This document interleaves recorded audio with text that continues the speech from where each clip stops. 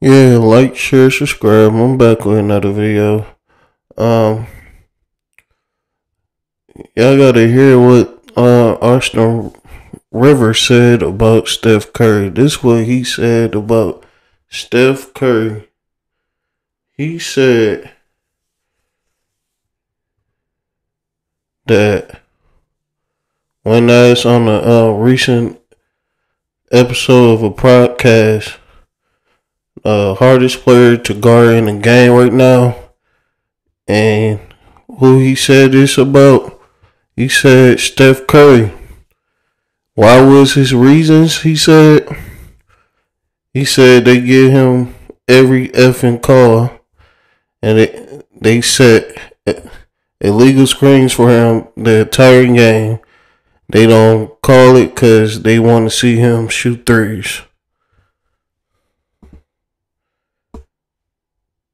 I I'm kind of uh I, could kind of agree to that from the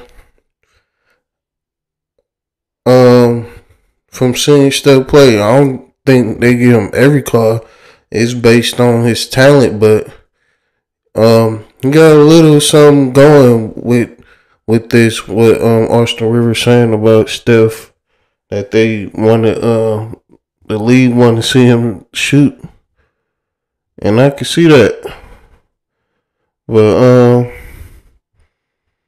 I don't think Austin Rivers should be talking crap because he's on he on his way out the league.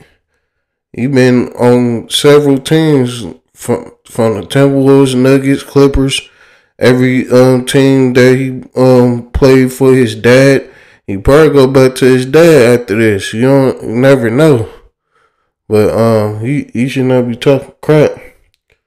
He can't even be on the court. But um, y'all let me know what y'all think. Like, share, subscribe, and I'm out.